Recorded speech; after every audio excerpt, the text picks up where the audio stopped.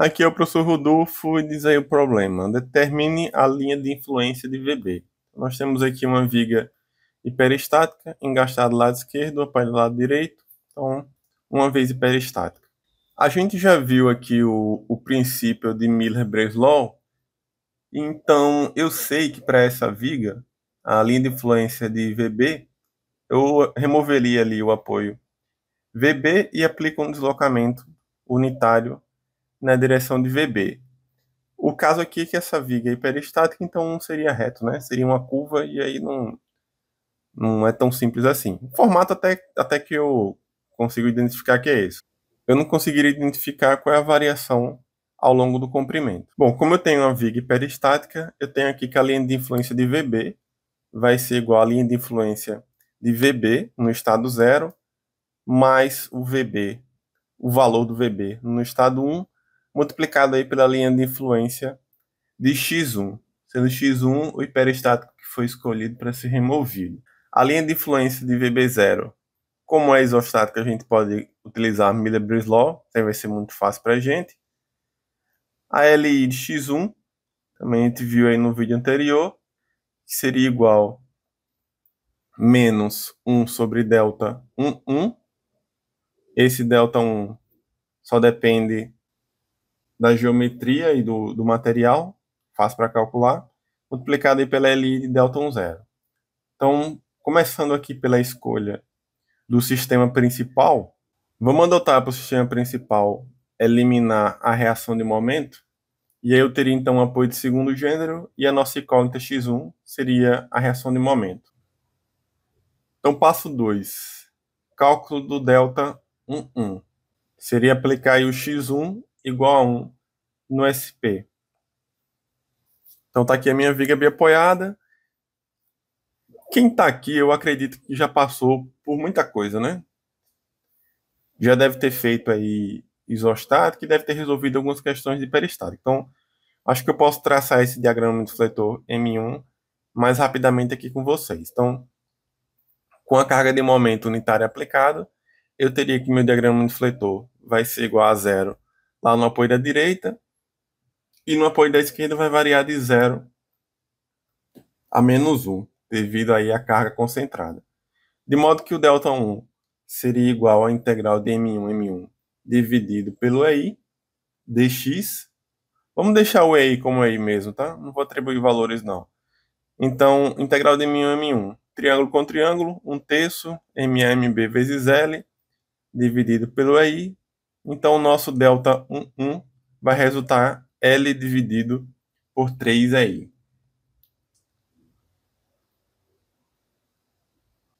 Passo 3. Cálculo da LI de delta 1, 0.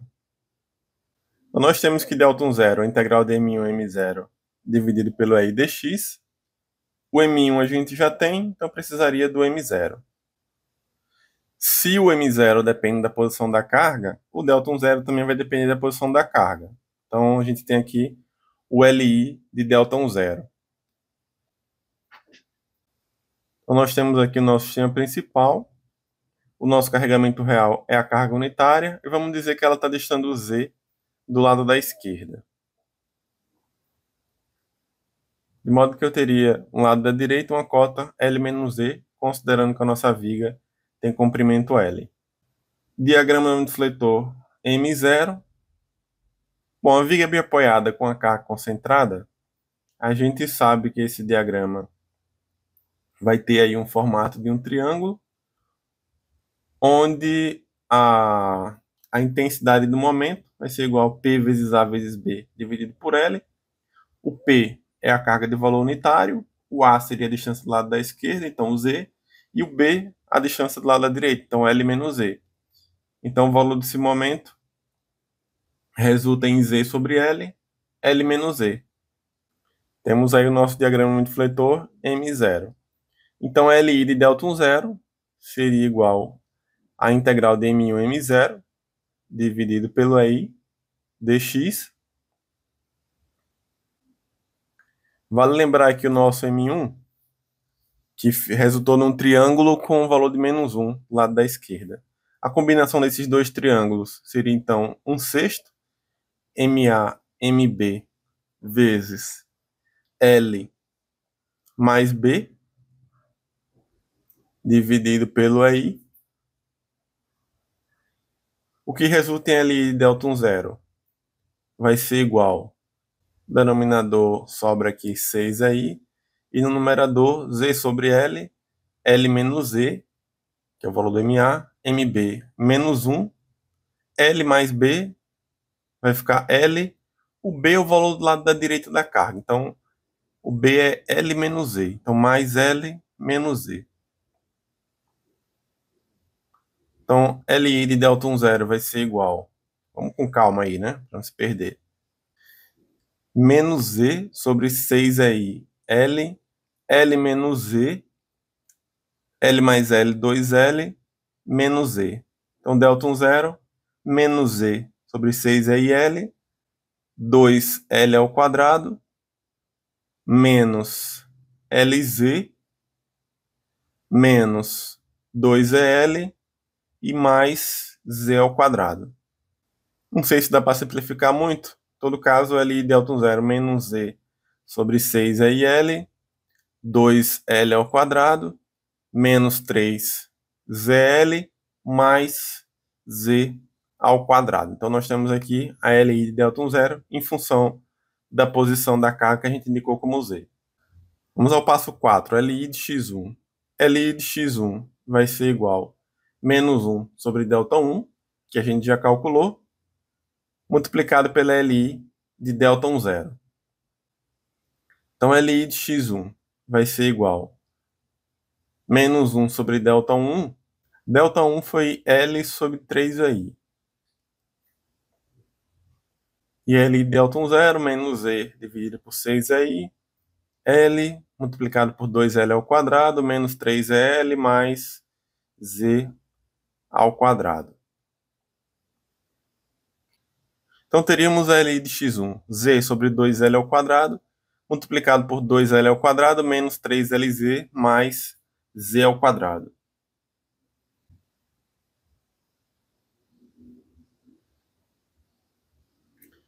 Vamos ao passo 5. LI de VB0. Nosso chama principal é uma viga bem apoiada, e utilizando aí o princípio de Miller-Breslau,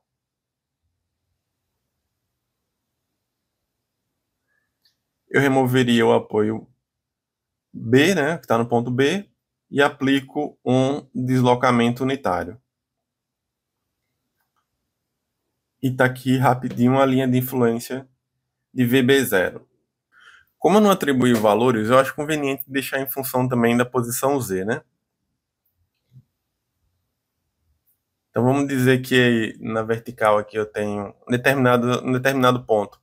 A cota vale y, onde eu teria ali o ângulo alfa. Posso fazer tangente de alfa igual cateto oposto sobre cateto adjacente. y sobre z seria igual a 1 sobre L. De onde eu tenho que o y vai ser igual a z sobre L. Então a linha de influência de VB0 posso escrever aí como sendo z sobre L. Para qualquer valor de z, eu tenho o valor do coeficiente correspondente para encontrar o VB0. Então, nós temos a linha de influência de VB0, temos a linha de influência de x1. Podemos ir para o passo 6, finalmente traçar a LI de VB. E nós temos que a LI de VB vai ser igual a LI de VB0 mais o VB1 multiplicado aí pela LI de x1. LI de x1 a gente já tem, LI de VB0 a gente já tem. O VB1 eu acabei esquecendo de pegar, né? Então vamos voltar lá em cima, a gente ver qual seria o valor do VB1. A gente obtém lá onde a gente fez o x1 igual a 1 no SP. Tá aqui, x1 igual a 1 no SP. E aqui nós temos o VB1.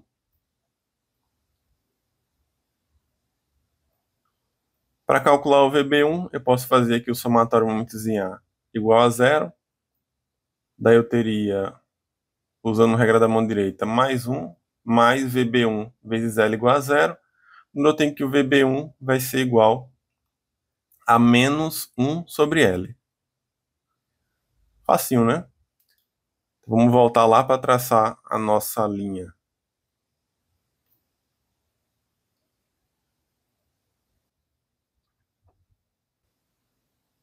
Pronto, temos aqui o VB1.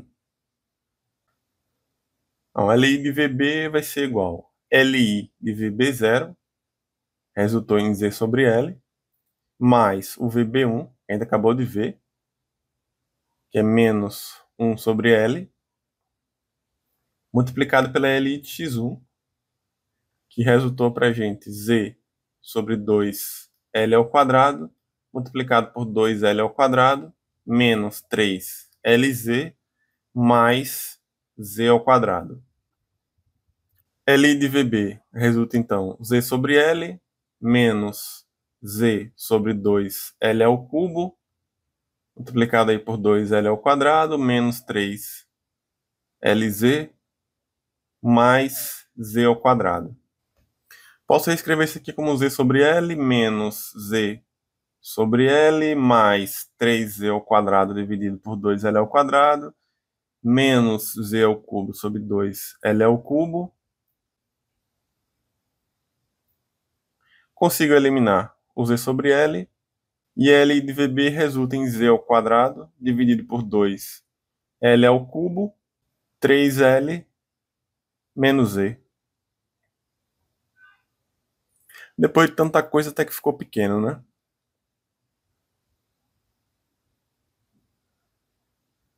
Então, nós temos aqui a variação de VB, quando percorre sobre a viga uma carga unitária a uma determinada distância z. Vamos atribuir alguns valores para z e verificar qual seria o valor do VB. Então, z igual a zero, L sobre 10, 2L sobre 10, vamos pegar 10 valores aí. 11, na verdade, né? 4L sobre 10, 5L sobre 10, 6, 7, 8, 9, 10 sobre 10, que é o próprio L. Então, para Z igual a zero, nós teremos o VB igual a zero.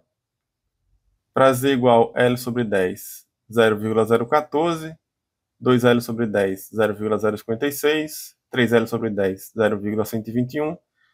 4L sobre 10, 0,208. 5L sobre 10, 0,312. 6L sobre 10, 0,432. Depois 0,564. 0,704. 0,850 e 1, quando Z igual a L. Vamos desenhar aqui como ficaria essa linha de influência.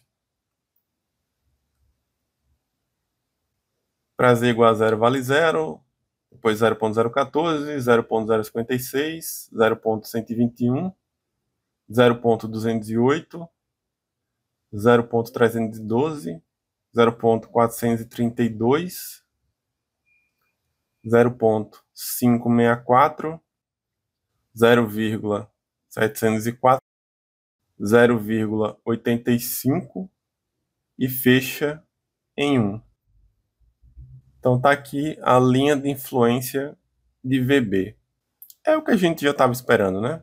Pelo princípio de Miller-Breslau. Então só tem valores positivos, independente da posição da carga. E é isso.